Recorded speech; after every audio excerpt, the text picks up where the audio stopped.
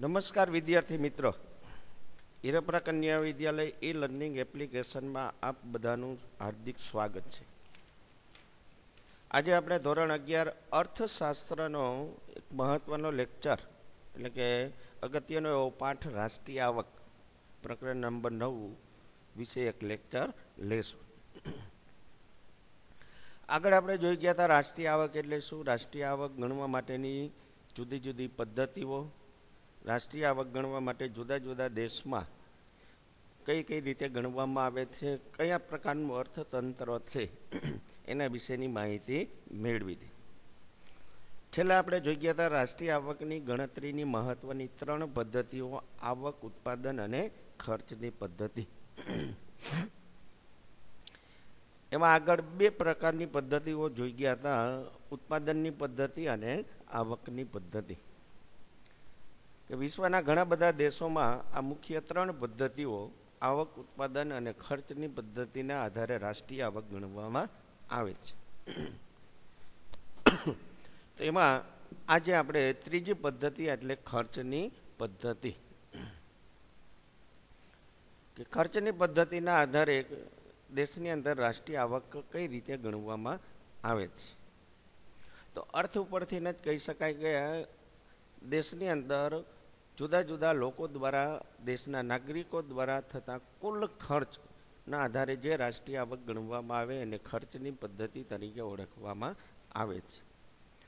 સૌ પ્રથમ આ પદ્ધતિ વિકસાવનાર પ્રોફેસર ફિશર નામના અર્થશાસ્ત્રી છે. આગળ ભાઈ ફિશરની વ્યાખ્યા જોઈ ગયા કે પ્રોફેસર ફિશરની વ્યાખ્યા ઉપરથી આ પદ્ધતિ વિકસાવવામાં આવી છે. એને એવું કીધું કે વર્ષ દરમિયાન વ્યક્તિઓ કે આખા એક વર્ષના સમયગાળા દરમિયાન દેશમાં રહેલા વ્યક્તિઓ, કુટુંબો, પેઢીઓ અને સરકાર જુદી જુદી ચીજ વસ્તુ અને સેવાઓ ઉપર જે કુલ ખર્ચ કરે છે એનો સરવાળો કરીને રાષ્ટ્રીય આવક માપવામાં આવે છે. ટૂંકમાં કહેવું તો, આ પદ્ધતિમાં આવક બરાબર ખર્ચની ધારણા અભિપ્રેત થાય છે. એટલે કે ખર્ચની પદ્ધતિમાં એક નાણાકીય વર્ષ દરમિયાન અંતિમ વસ્તુઓ અને સેવાઓ એક વર્ષના સમયગાળા દરમિયાન વસ્તુ અને સેવાઓની ખરીદી પાછળ જે ખર્ચ થાય છે એનો સમાવેશ કરવામાં આવે છે અને આમ એક નાણાકીય વર્ષ દરમિયાન કુલ ખર્ચ જીડીપી જેટલું જ હોય છે. ટૂંકમાં કહેવું હોય તો ખર્ચની પદ્ધતિ એટલે એક વર્ષના સમયગાળા દરમિયાન દેશમાં, દેશના લોકો દ્વારા થતું કુલ ખર્ચ જેને આવક વડે દર્શાવતા જે ખર્ચ થાય છે એને આવકના આધારે દર્શાવીને જે આવક ગણવામાં આવે છે એને રાષ્ટ્રીય આવક તરીકે ઓળખવામાં આવે છે. આમ, ખર્ચની દ્રષ્ટિએ રાષ્ટ્રીય આવક ગણતી વખતે કયા કયા મુદ્દાઓને ધ્યાનમાં લેવાના છે એવું આજે આપણે જોવાના છીએ. તો ખર્ચની દ્રષ્ટિએ આવક ગણતી વખતે જુદા જુદા ચાર ખ્યાલો છે. ને એના આધારે પ્રથમ ખ્યાલ, એટલે કે મુખ્ય ત્રણ ખ્યાલો છે, એમાં પહેલો છે નાણાકીય ખર્ચ. અને નાણાકીય ખર્ચને ચાર રીતે દર્શાવવામાં આવે છે. તો સામાન્ય અર્થમાં નાણાકીય ખર્ચ કેને કહેશું? તો એના અર્થ ઉપરથી જ આવડે કે જે ખર્ચ નાણાંના દ્વારા દર્શાવવામાં આવે એને નાણાકીય ખર્ચ કહેવામાં આવે છે. આજે આપણે મોટા ભાગનું ખર્ચ પૈસા એટલે રૂપિયા એટલે કે નાણાં દ્વારા દર્શાવીએ છીએ. તો નાણાકીય ખર્ચના મહત્વના ચાર પરિબળો એમાં પહેલું છે વપરાશી ખર્ચ. જે આગળ વ્યાખ્યા જોઈ ગયા છે કે વ્યક્તિને જીવન નિર્વાહ માટે કંઈ ને કંઈ વપરાશ કરવો પડે છે. આવો વપરાશ પાછળ થતું ખર્ચ એટલે વપરાશી ખર્ચ, જેને દેશની રાષ્ટ્રીય આવકમાં ગણવામાં આવે છે. જોઈએ, વપરાશી ખર્ચ એટલે નાગરિકો, કુટુંબ, નાગરિકો એટલે દેશના લોકો, કુટુંબો, ધંધાદાર પેઢીઓ દ્વારા વપરાશી વસ્તુઓ પાછળ થતું ખર્ચ, જેને વપરાશી ખર્ચ કહેવામાં આવે છે. કે કોઈ પણ દેશના લોકો આખા દેશમાં કુટુંબો, ધંધાદાર પેઢીઓ જુદી જુદી વપરાશી વસ્તુઓ પાછળ ખર્ચ કરે છે, જેને વપરાશી ખર્ચ કહેવાય છે.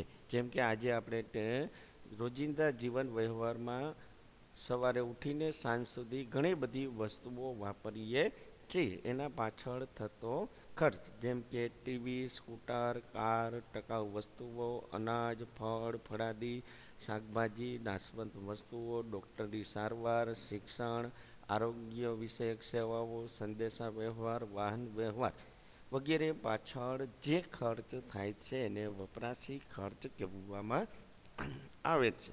બીજો ખર્ચ છે મૂડીરોકાણ પાછળ થતો ખર્ચ.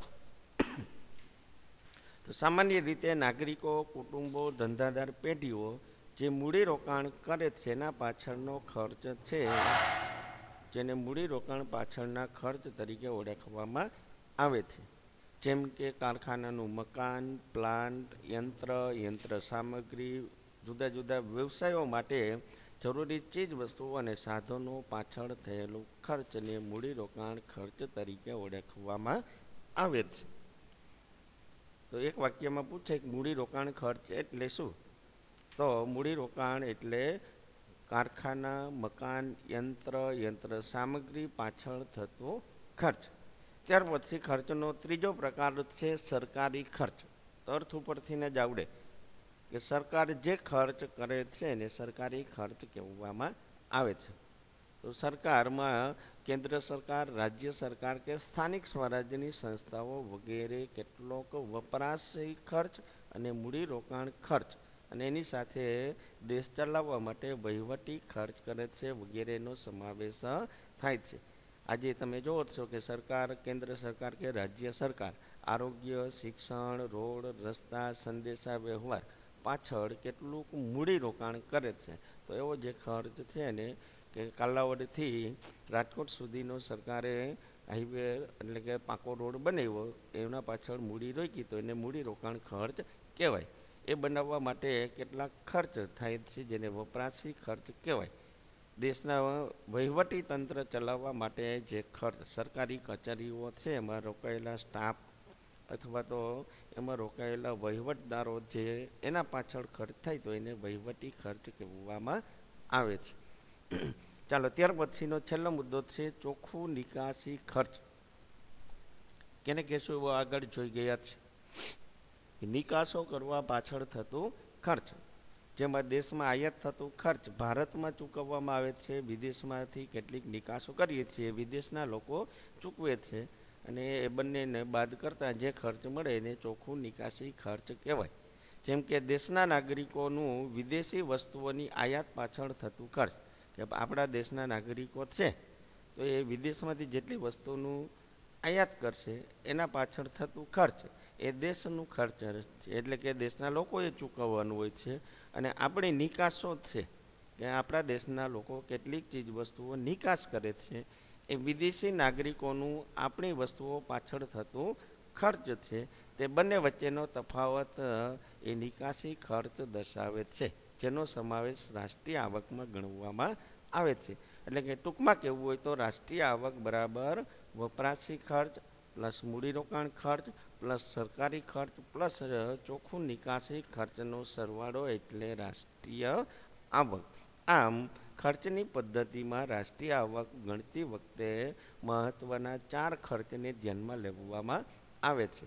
દેશના લોકો દ્વારા થતું કુલ ખર્ચ જે વપરાશી ખર્ચ, દેશના લોકો મૂડીરોકાણ કરે, સરકાર ખર્ચ કરે અને નિકાસો પાછળનું ખર્ચને કુલ સરવાળાને ખર્ચ તરીકે ગણીને રાષ્ટ્રીય આવક ગણવામાં આવે છે, જેને ખર્ચની પદ્ધતિ તરીકે ઓળખવામાં આવે છે. ચાલો ત્યાર પછી રાષ્ટ્રીય આવકમાં ન ગણાતા ખર્ચ. કે આ પદ્ધતિમાં કેટલાક ખર્ચ એવા છે કે જેને રાષ્ટ્રીય આવકમાં ગણવામાં આવતા નથી. જો ગણવામાં આવે તો એ સાચી ખર્ચની માહિતી આપશે નહીં અને પરિણામે રાષ્ટ્રીય આવક બેવડાશે અથવા તો રાષ્ટ્રીય આવકનું સાચું મૂલ્યાંકન થશે નહીં. તો એવા કયા ખર્ચ છે કે જેને રાષ્ટ્રીય આવકની અંદર ગણવામાં આવતા નથી? તેમાં જોઈએ, ખર્ચની દ્રષ્ટિએ રાષ્ટ્રીય આવકની ગણતરીમાં અમુક ખર્ચને જ ગણવામાં આવે છે, અમુક ખર્ચ ગણવામાં આવતા નથી. દાખલા તરીકે સેકન્ડ હેન્ડ વસ્તુઓની ખરીદી પાછળ થતું ખર્ચ, કે સેકન્ડ હેન્ડ એટલે જૂની વસ્તુઓ, કે એક વખત વપરાશ માટે ખર્ચ થઈ ગયો કે દાખલા તરીકે મેં દસ હજારનો મોબાઈલ લીધો, એના પાછળ થતું ખર્ચ. હવે એ જ મોબાઈલ મેં બીજાને વેચ્યો, તો બીજાને મેં દાખલા તરીકે આઠ હજારનો વેચ્યો તો એને આઠ હજારનું ખર્ચ થયું. પણ એ કેવી વસ્તુ ગણાશે? સેકન્ડ હેન્ડ જો બે વખત ગણાશે તો દસ હજાર મેં ખર્ચા આઠ હજાર એને ખર્ચા ખરેખર મોબાઈલનો પાછળનો ખર્ચ ટોટલ કુલ ઉત્પાદનના આધારે કેટલો થશે? દસ હજાર. પણ જો બે વખત ગણવામાં આવશે તો અઢાર હજાર થશે કે પરિણામે ખર્ચનું સાચું મૂલ્ય મળશે નહીં. એવું જ હેરફેર, હેરફેરનું ખર્ચ. આ ઉપરાંત હેરફેરના ખર્ચમાં ની સાથે પેન્શન, બેરોજગારી, ભથ્થું વિધવાઓને અપાતી સહાય વગેરેનો સમાવેશ પણ ખર્ચમાં કરવામાં આવતો નથી. કારણ કે એ કરવામાં આવશે તો રાષ્ટ્રીય આવક બબે વખત ડબલ ગણાશે. આમ જૂના શેરની ખરીદી પાછળનું ખર્ચ, વચગાળાની વસ્તુઓ પાછળનું ખર્ચ રાષ્ટ્રીય આવકમાં ગણવામાં આવતો નથી. આમ કેટલાક ખર્ચાઓ વસ્તુ અને સેવાના ઉત્પાદન થયા વગર થતા હોય છે. તેમાં પણ માત્ર નાણાંની શું થાય છે? હેરફેર જ થાય છે એટલા માટે એને ગણવામાં આવતો નથી. આ ઉપરાંત સબસિડી જેવા ખર્ચાઓ રાષ્ટ્રીય આવકમાં ગણવામાં આવતા નથી.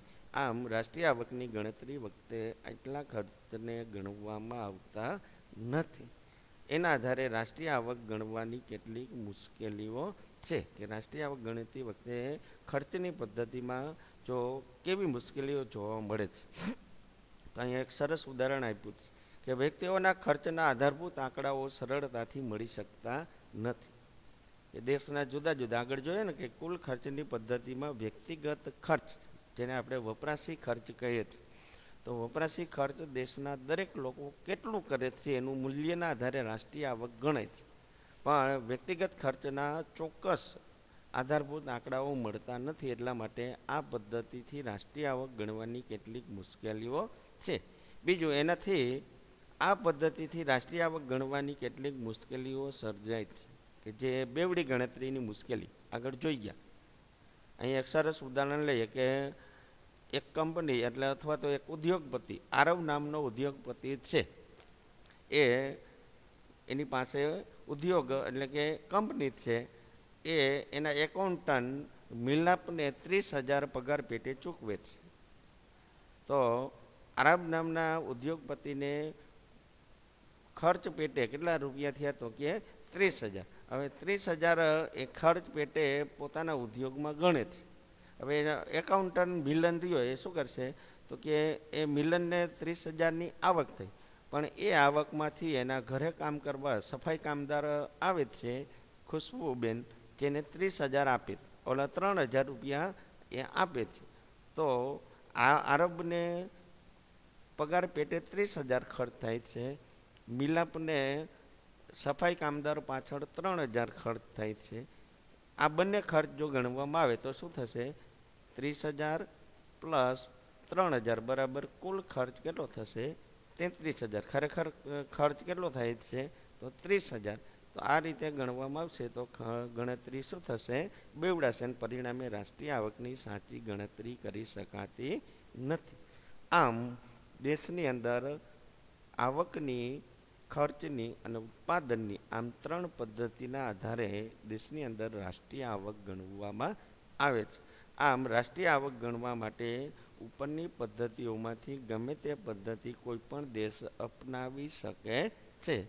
જો પ્રાપ્ત માહિતીના આંકડાઓ સાચા હોય, તો ગમે તે પદ્ધતિ દ્વારા રાષ્ટ્રીય આવક ગણવામાં આવે છે. આમ રાષ્ટ્રીય આવકનું માપન સરખું જ આવે, પરંતુ દરેક પદ્ધતિ કોઈને કોઈ ખામી જોવા મળે છે. તેથી કહી શકાય કે આ પદ્ધતિઓ એકબીજાની પરસ્પર પૂરક છે.